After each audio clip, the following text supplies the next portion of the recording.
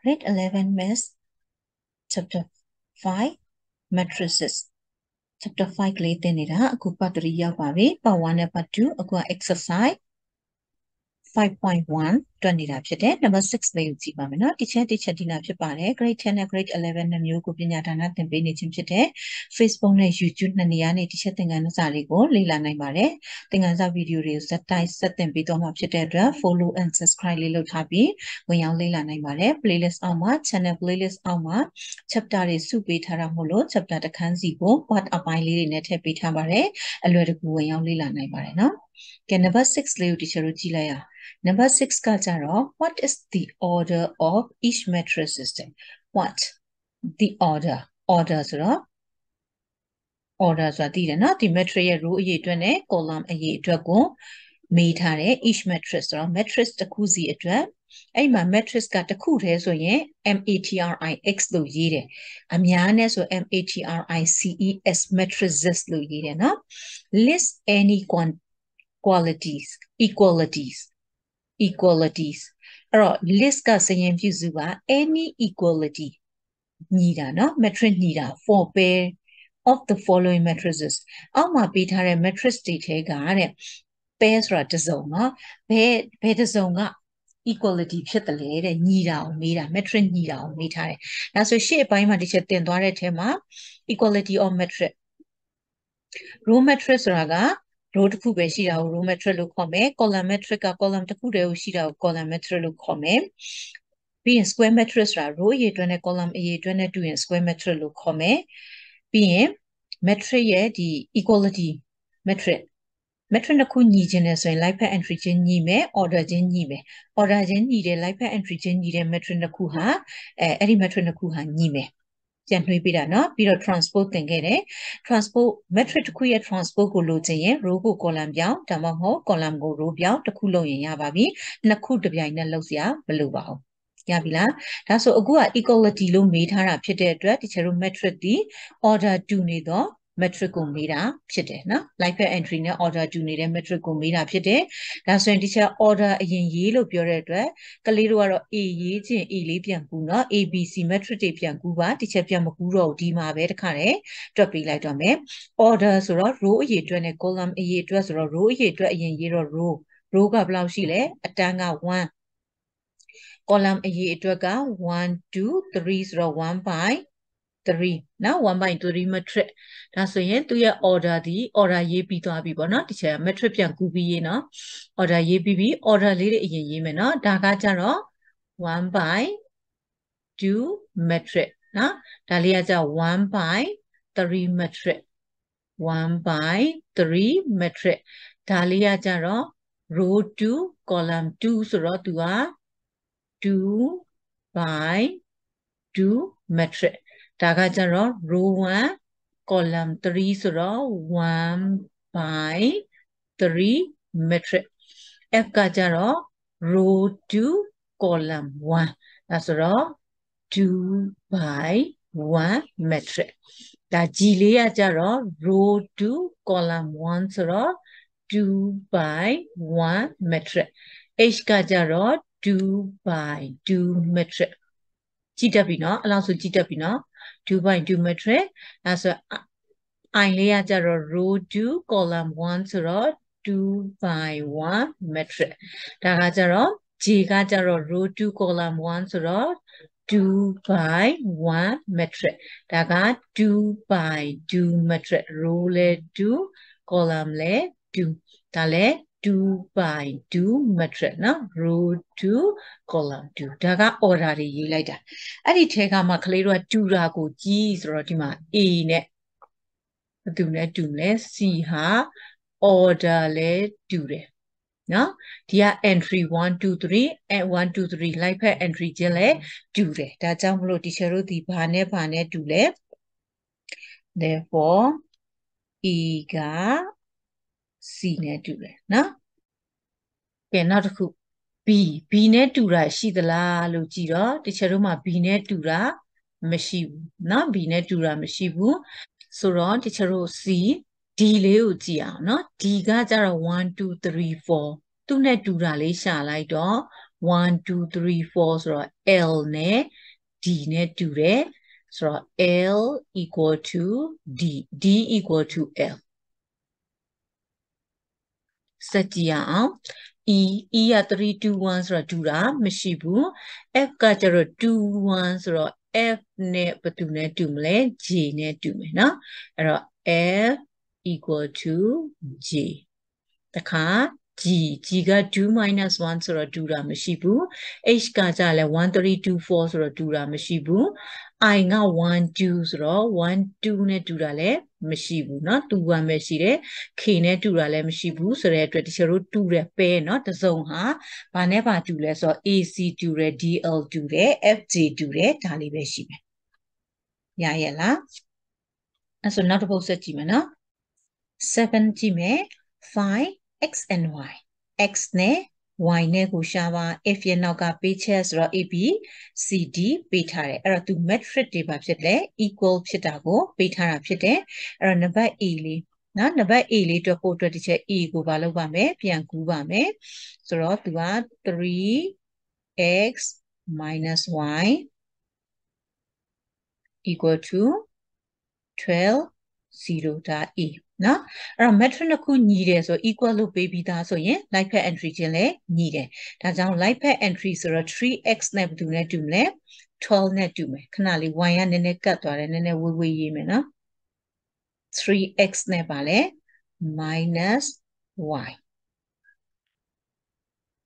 ဒါဆို 3x ကဘယ်သူနဲ့ညီမှာလဲ 3x equal to the 12 ဒါဆို x equal to 3 over ရွှေ့တော့3လေးလေး12ဆိုတော့တချို့တို့ x ရသွားပြီတခါ y ကဘယ်သူနဲ့ညီမှာ0နဲ့ညီမှာအဲ့တော့ -y equal to 0 minus ကဟိုဘက်မြောက်လဲ0ဆိုတော့ y equal to 0ဒါကြောင့်တချို့တို့ရဲ့အဖြေလေးဒီပါရလဲ x equal to 4 y equal to 0ဒါ e ရသွားပြီเนาะ e ရသွားပြီတခါ b လေး ဆိုတော့ b ပေးချက်ပြန်ကူးမယ်ဆိုတော့ x 2y ဒါကြတတွဲတဲ့နော် x 2y ကဂိမ်းတစ်လုံးတခါ 2x y ကဂိမ်းတစ်လုံးတခါဒီဘက်မှာ equal 9 8အဲဆိုဒီကျတော့ဗာလဲ light path entry ချင်းညီတယ်နော်အဲ့တော့ light path entry လို့ပြောတဲ့အတွက် first row first column ဒီက first row first column ဆိုတော့ x 2y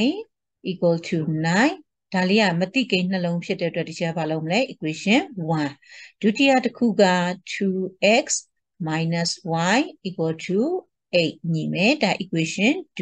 ဒါဆို1နဲ့2ကိုခြေရင် equation x နဲ့ y ကိုရမယ်။ဒါဆိုတော့ x ခြေခြင်းလည်းမတူဘူး y ခြေခြင်းလည်းမတူဘူးဆိုတော့ညှိမယ်နော် x ကိုညှိညှိ y ကိုညှိညှိရတယ်။အဲ့တော့ဒီချက်က y ကိုညှိလိုက်မယ်နော်။ဆိုတော့ equation 2ကို2နဲ့မြဒါဆိုရင်2နဲ့4ဆိုတော့ 4x 2y equal to ရှင်းနလီ16အဲဆို equation 1ကြတော့ဒီချက်ကဒီတိုင်းပဲပြန်ကူးမှာဖြစ်တယ်အဲဆို equation 1လေးက x 2y equal to 9ဆိုတော့ဒီချက်လက္ခဏာက plus နဲ့ minus ဆိုတော့ခြေစအဲချိန်စရာ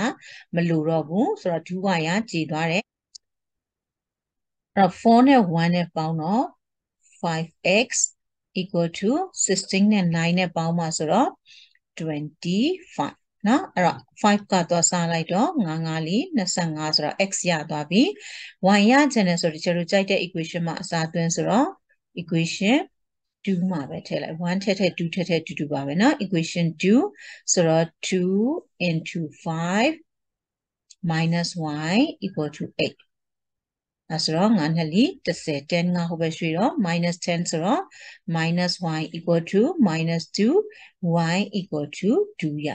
နော်ဒါဆိုတော့ x နဲ့ y ရသွားပြီဆိုတော့ဘာလုပ်ပေးအဖြေပြန်ထုတ်ပေးမယ် therefore x equal to 5 y equal to 2ဒါက a နဲ့ b နဲ့ရပြီနော်ဒါဆိုတချို့တို့ဘာလုပ်မလဲ c ကိုတွက်ပါမယ် နံပါတ် C လေးကကြတော့ life path entry ချင်းညီမယ်ခုနလိုပဲဒါဆိုရင် teacher တို့ x square နဲ့ဘယ်သူနဲ့ညီမှာလဲ4နဲ့ညီမယ်နော်ဒါဆိုတော့ x square equal to 4တခုအရင်ရေးပါမယ် x square equal to 4တခါ x2 နဲ့ဘယ်သူနဲ့ညီမှာလဲ -8 ဆိုတော့ x2 8နော် x2 equal to -8 တခါ minus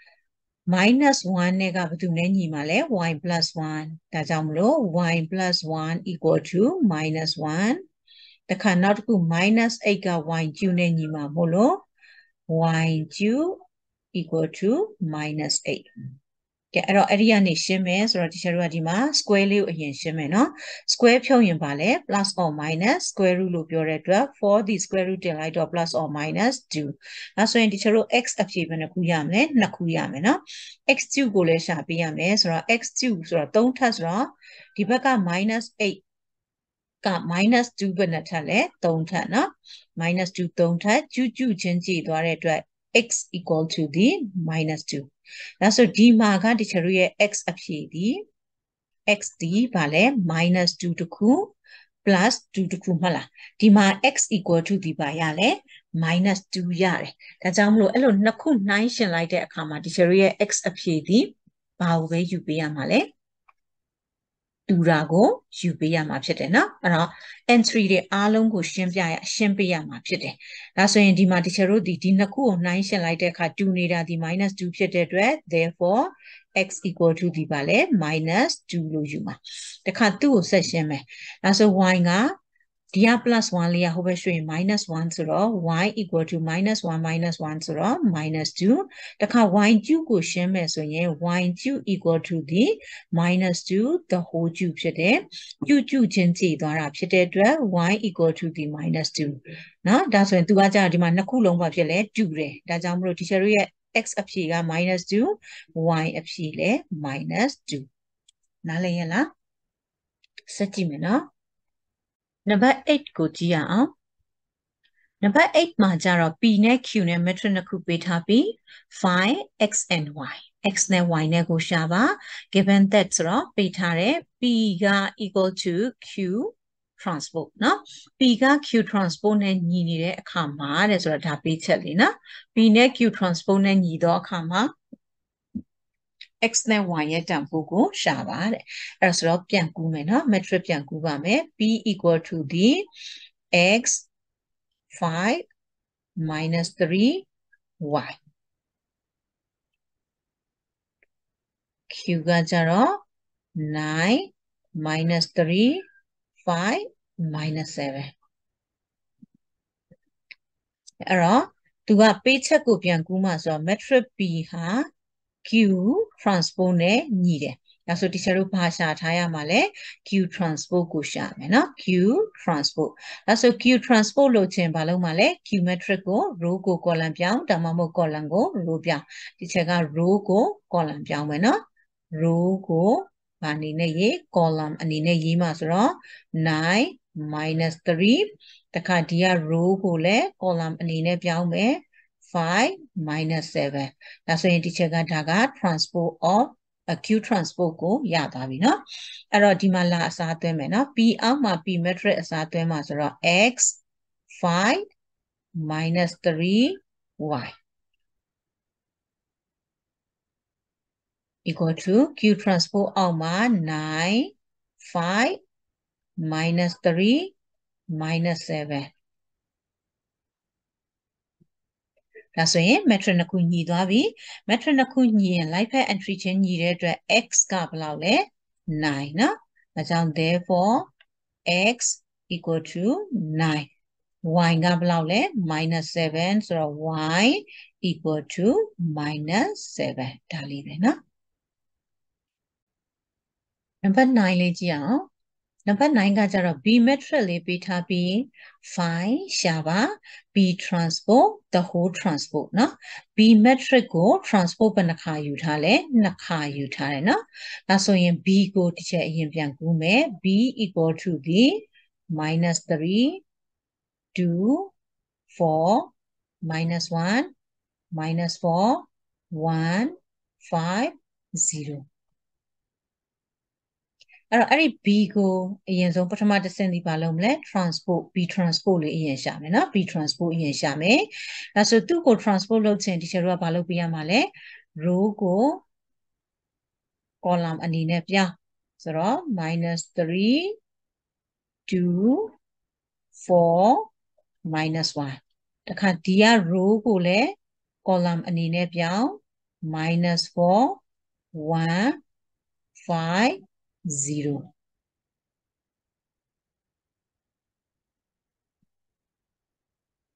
ကဲအဲ့တော့ဒါတချို့ဘာရသွားပြီလဲ B transport ကိုရသွားပြီနော်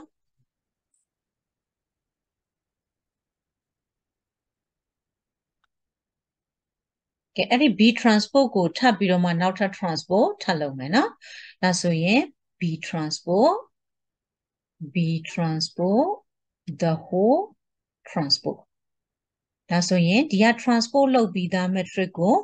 row ကို column ပြောင်းဆိုတော့ -3 -4 တခါဒီက21ကိုလည်း row ကို column ပြောင်း row 21 4ကို4 5 minus 1 0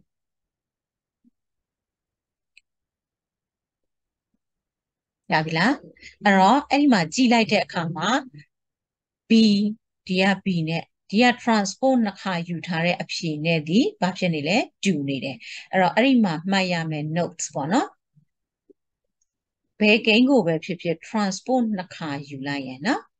အဲဘယ်ကိန်းမဟုတ်ဘူးဘယ် metric ကိုဖြစ်ဖြစ် transport နှစ်ခါယူလိုက်ပါရလဲငကိုမူရင် metric ကိုပြန်ရတယ် b transport the whole transport ဆိုရင်ဘာရလဲ b ရတယ်လို့သိရမှာဖြစ်တယ် နားလည်ရလားဒါတမတ်တန်မှာမေးနိုင်ပါတယ်နော် multiple choice မှာမေးလို့ရတယ် A transpose the whole transpose ဆိုရင်ရွေးခိုင်းပါလေ A ပေါ့ equal to A C transpose the whole transpose ဆိုရင် C ရမယ် D transpose the whole transpose ဆိုရင် D ရမယ်နားလည်ပြီလားဟုတ်ပြီနော်ဒါဆိုရင်တစ်ချက်အခုတင်လိုက်တဲ့ထဲမှာမရှင်းတာနားမလဲတာလေးရှင်အောက်က comments မှာမေးသွားနိုင်ပါတယ်နောက်တင်မဲ့သင်ခန်းစာတွေကိုဆက်ပြီးစောင့်ကြည့်နိုင်ပါတယ်အားလုံးမင်္ဂလာပါ